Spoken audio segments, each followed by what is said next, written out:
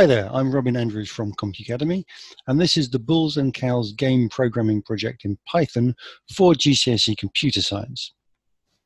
First off, I'm going to show you how the game works. It's a guessing game, a bit like Mastermind if you've ever played Mastermind, and we have to guess a secret code consisting of digits between 0 and 9.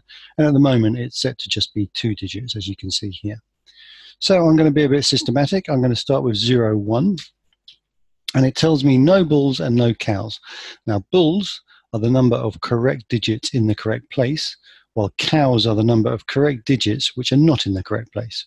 At the moment, you can see there's no digits, whether they're in the correct place or not. So let's try again. 2, 3, same situation here, 4, 5. Okay, so now I have one cow. So one of those digits is correct, but it's not in the correct place.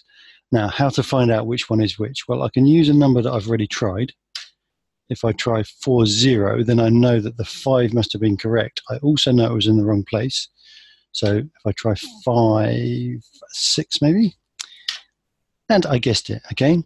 So what I did there is I used some logical deduction to work out what the secret number is based on the guesses I've already made.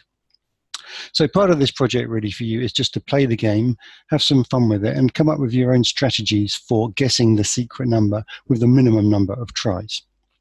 This is the complete solution code for the project. Don't worry if it looks a little bit complex. We will be looking at the individual parts in detail and you'll have plenty of practice before trying to write the final solution for yourself. Every lesson in this project has its own page. This is the title page. And then the first lesson is an introduction, which really is just making sure that you fully understand the rules of the game before attempting to write any code to implement the game.